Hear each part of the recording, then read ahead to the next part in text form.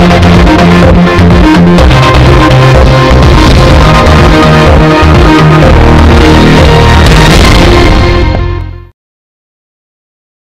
सहारनपुर के थाना कुतुबशेर क्षेत्र के गंगौर रोड स्थित पीर माजरा गाँव के पास उस वक्त अफरा तफरी मच गई, जब खचाखच यात्रियों से भरी एक टाटा मैजिक गाड़ी और ट्रैक्टर ट्राली की आमने सामने से जोरदार टक्कर हुई। टक्कर इतनी जोरदार थी कि टाटा मैजिक गाड़ी के परखच्चे उड़ गए और उसमें सवार छह लोग गंभीर रूप से घायल हो गए।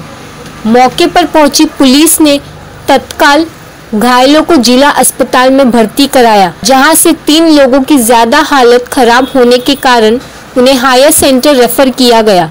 उधर आरोपी ट्रैक्टर चालक मौके से फरार हो गया।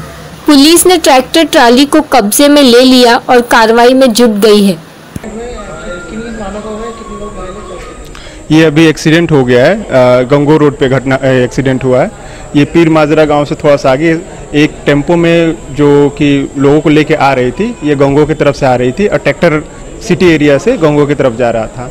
ये बीच रोड के बीचों बीच ये घटना हो गई, जिसमें छः लोग हॉस्पिटल आए हैं। तीन लोग गंभीर रूप से घायल है, उनको रेफर किया जाता, जा रहा है। उनके परिजनों को इन्फॉर्म कर दिया गया है, उनके परिजन पहुँच भी गए हैं, और सीएमओ साहब भी यहाँ पे हैं, और हम लोग इनका देखभाल कर रहे हैं, अच्छे से अच्छा इलाज होगा। देखिए, ये एक्सीडेंट बीचों बीच हुआ है। ऐसा नहीं कि लेफ़्ट या राइट हुआ है तो हम अभी कह नहीं सकते किसी गलती है, लेकिन ये जो टेंपो वाला है, देखिए, ऐसे एक्सीडेंट जल्दी बाहरी वाहन की गलती होती है और जो ट्रैक्टर वाला है, इसने बहुत हैवी लोडिंग कर रखी थी। इस पर बिजली के बहुत सारे खंभे थे।